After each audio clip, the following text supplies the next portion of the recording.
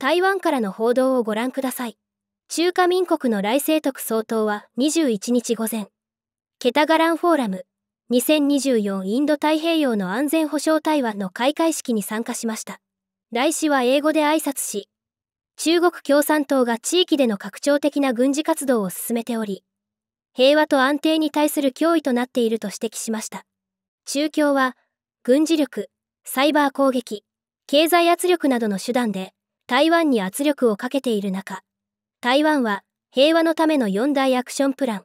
国防の強化、経済安全保障の構築、民主主義諸国との協力強化、両岸関係における安定的かつ原則的なリーダーシップの確立を堅持し、台湾海峡の平和と安定を守ることの重要性、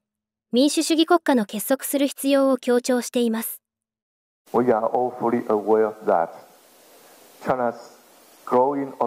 authoritarianism will not stop with Taiwan,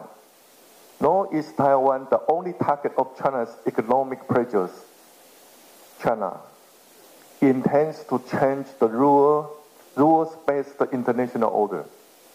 That is why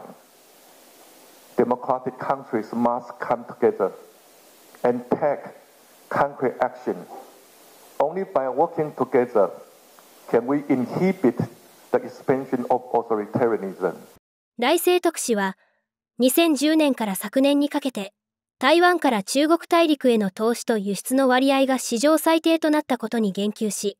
新たな貿易協定を通じて他国との経済貿易関係を強化したいと表明しました。今回のフォーラムには、日本の元首相、野田義彦氏、スロバキアの元首相、エデュアルド・ヘゲル氏、元アメリカ国連大使、ニッキー・ヘイリー氏が訪台し、基調講演を行いました。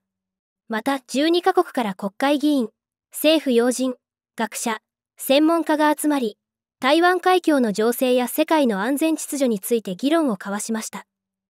NTD ジャパンがお伝えしました。Hey, I told you enough of that. But look, this is different. It's Ganjing World.